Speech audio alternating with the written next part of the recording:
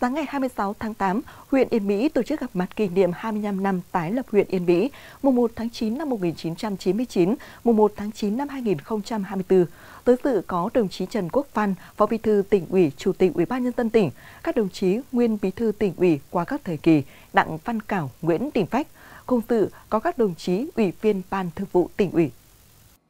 Sau 25 năm tái lập, huyện Yên Mỹ đã đạt được nhiều thành tiệu quan trọng, kinh tế tăng trưởng nhanh, là điểm sáng về phát triển công nghiệp của tỉnh, được Thủ tướng Chính phủ chấp thuận quy hoạch 9 khu công nghiệp, trong đó 5 khu công nghiệp đã đi vào hoạt động, giải quyết việc làm và thu nhập ổn định cho trên 74.000 lao động. Được quy hoạch 11 cụm công nghiệp với tổng diện tích đến năm 2030 khoảng 580 ha. Có 1.500 cơ sở sản xuất tiểu thủ công nghiệp, tạo ra giá trị hàng hóa 1.000 tỷ đồng trên năm. So với năm đầu tái lập, tổng thu ngân sách năm 2023 đạt trên 4.100 tỷ đồng, tăng gấp trên 600 lần, giá trị sản xuất công nghiệp xây dựng gấp trên 520 lần. Thu nhập bình quân đầu người năm 2023 đạt gần 113 triệu đồng, tăng trên 35 lần. Sau 25 năm đã có trên 640 km đường và cầu được nâng cấp, xây mới. Huyện có 8 trên 16 xã nông thôn mới nâng cao, 5 trên 16 xã nông thôn mới kiểu mẫu.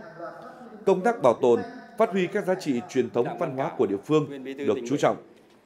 Phát biểu tại buổi gặp mặt kỷ niệm, Chủ tịch Ủy ban nhân dân tỉnh Trần Quốc Văn chúc mừng những thành tựu mà Đảng bộ, chính quyền và nhân dân huyện Yên Mỹ đạt được trong những năm qua. Đồng chí đánh giá, sau 25 năm tái lập kinh tế của huyện Yên Mỹ tăng trưởng nhanh và chuyển dịch đúng hướng là một trong những huyện đầu tàu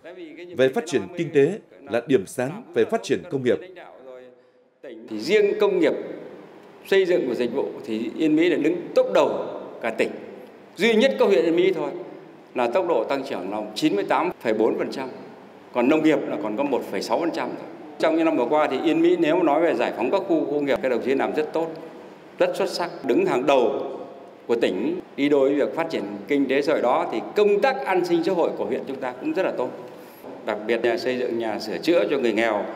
rồi ờ, người có hoàn cảnh khó khăn về nhà ở. Đồng chí Chủ tịch Ủy ban Nhân dân tỉnh đề nghị Đảng bộ chính quyền huyện Yên Mỹ khai thác hiệu quả hơn tiềm năng, thế mạnh, nguồn lực để thúc đẩy phát triển kinh tế, cải thiện môi trường đầu tư và kinh doanh. Sẵn sàng đón nhận cơ hội, thách thức mới để xây dựng huyện Yên Mỹ trở thành huyện vững mạnh về chính trị, ổn định về quốc phòng và an ninh, kết cấu hạ tầng đồng bộ, hiện đại, văn minh. Các đồng chí đẩy nhanh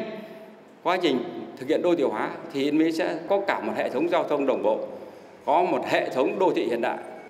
rất mong Đảng bộ và chính quyền, nhân dân huyện Yên Mỹ đoàn kết, thống nhất, nhất trí cao để xây dựng huyện Yên Mỹ đến năm 2037 là thành phố trực thuộc tỉnh.